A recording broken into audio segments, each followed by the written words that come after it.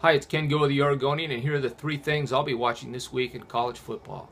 First, the sixth ranked Oregon Ducks play Cal at Levi Stadium in Santa Clara, California. That's suburban San Francisco. It's the Niner Stadium. It's beautiful. However, I question how many people are going to be at the game. I certainly don't think many Cal students are going to make the trek from East Bay. And you have to remember that the World Series is going on and the San Francisco Giants are playing in it.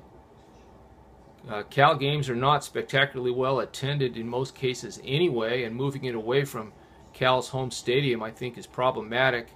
I questioned on, in a blog post online earlier this week how many people would go, and I got an email from Roger Hacker of the, uh, the Niners who said that more than 60,000 tickets had been distributed.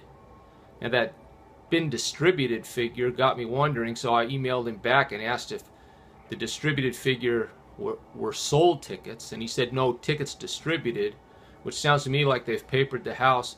I don't think many people are going to be there, regardless of how many tickets are in circulation. Big game for the Ducks. Uh, they seem to have got their offensive rhythm back. They're playing better on defense.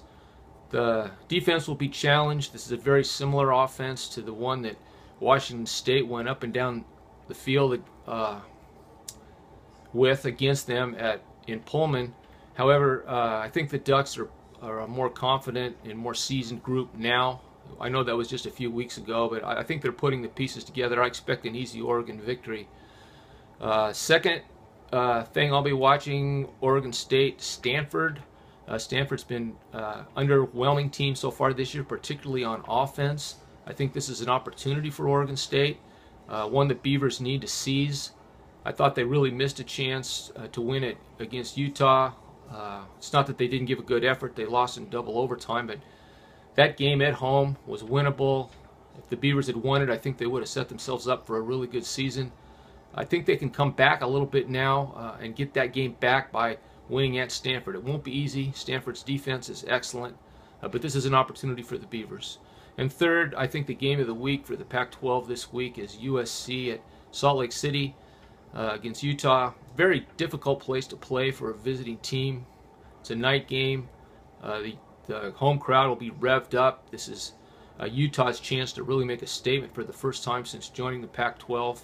Um, the Utes defense is very salty. Uh, offensively, I don't know if Utah's quite as strong. I think they've got real issues at quarterback. They've played two guys. Uh, neither one has really seized the job. Um, very good running back, but um, I don't know. USC's uh, playing very well. I really put the hammer down on Colorado last week. Um, quarterback Cody Kessler is, seems to be coming into his own. Uh, so a key game really for both teams. They both uh, need to win if they're going to mount a serious challenge at the Pac-12 South title. So I'm Ken Goe with the Oregonian, and those are my three things to watch this week in college football.